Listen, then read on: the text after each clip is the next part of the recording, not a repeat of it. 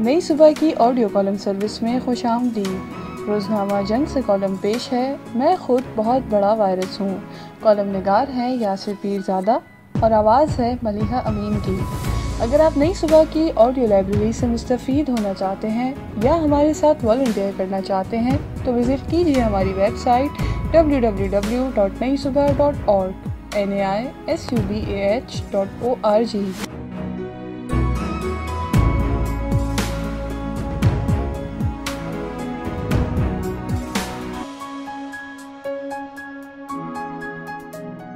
पहले हमने कहा कि ये वबा सिर्फ़ चीन तक महदूद है। फिर फरमाया कि ये हराम जानवरों के खाने से होती है।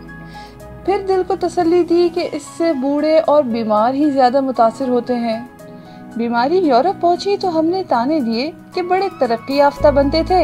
अब बोलो कैसी रही? इसके बाद अमेरिका की बारी आई तो हमने पैंतरा बदला कि ये हम जिन्स परस्ती की सजा है। जब वबा हमारे मुल्क में पहुँची तो पहला मरीज़ देखने के लिए लोग अस्पताल के बाहर इकट्ठे हो गए। जब 50 मरीज़ हो गए तो कहा कि हमारी कुत मुदाफ़त बहुत बेहतर है। हज़ार मरीज़ हुए तो हमने अजाने देना शुरू कर दी। दस हज़ार हुए तो हमने जड़ी बूटियों से इलाज का ठंडोरा पीटा। फिर किसी ने कहा कि यह वायरस तो दरअसल अमेरिका और यूरोप की शैतानी है। कोई बिल गेट्स के लत्ते लेने लगा तो किसी ने 5G के खम्बों को मोरद इल्ज़ाम ठहराया।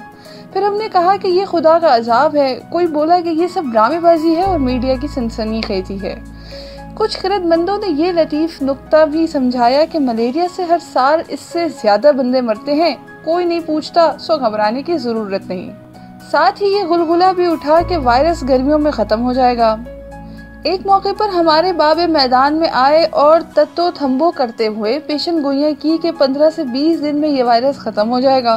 किसी फलसफी ने इसमें इंसानियत की भलाई तलाश की और किसी ने बस अबील इर्तजाल साइंस का मज़ाक उड़ाया।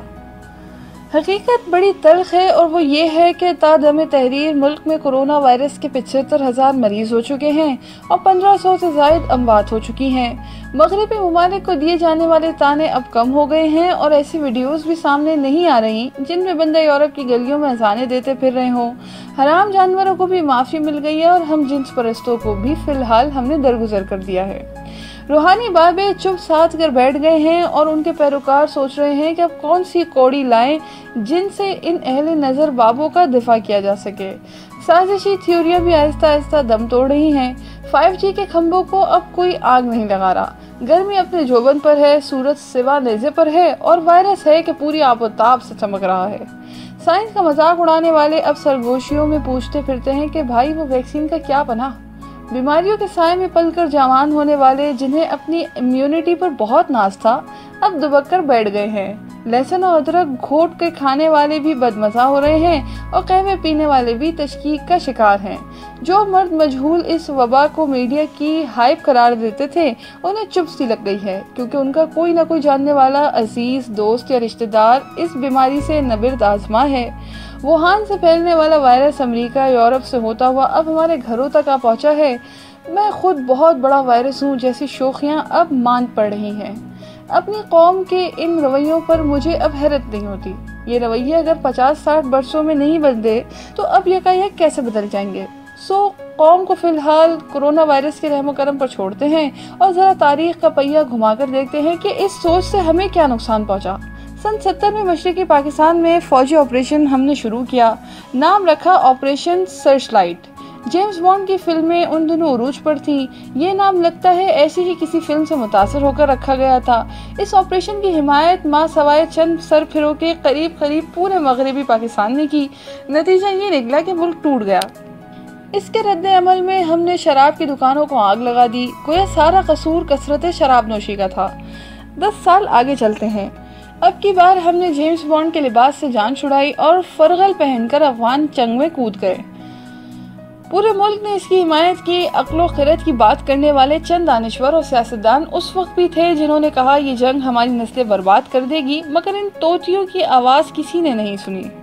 उन दिनों अफ़गानिस्तान के बारे में मंसूबे बनाए जाते थे कि कैसे वहाँ हमारी मर्ज़ी की हुकूमत आएगी, उसके बाद हम काशगर तक जाएँगे, फिर वहाँ से समंदर तक तैरते हुए यूरोप के साहिलों पर जा निकलेंगे, मजीद आगे चलते हैं। फिर हमारे आमरीत का दौर मुस्ताब आया उस वक्त का आमिर भी चूँकि बेअदील था, सो उसकी मुखालफत करने वाले एक हाथ की उंगलियों पर गिने जा सकते हैं।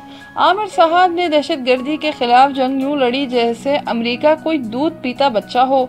हमने दोबारा ये फ़र्ज़ कर लिया कि हम अमेरिका को उल्लू बना लेंगे। अमेरिका ने खैर क्या उल्लू बनना था? इस अहमकाना पॉलिसी से तालिबान भी राज़ी ना हुए। ऐसी दहशत गर्दी फिर हमने देखी कि अल हफीज़। इस दहशत गर्दी के बयानिए के हामी मुख्तलिफ़ हीलों बहानों से तालिबान की हिमायत करते और उनके हक में तावीलें ढूंढते। उन्हें अपना भाई कहते जबकि मुखालफत करने वालों को लिबरल सेक्युलर कहकर लताड़ा जाता। ताहम वक्त ने साबित कर दिया कि कौन तारीख की दुरुस्त सिमत में था और कौन गलत। आज कोई दानश्वर ऑपरेशन सर्च लाइट की हिमायत नहीं करता।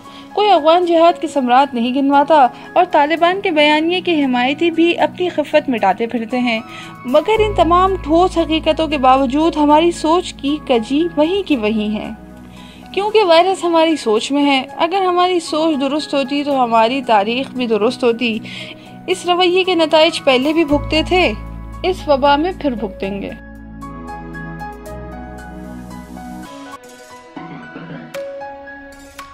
ये मालूमती मवाद नई सुबह की जानब से पेश किया गया।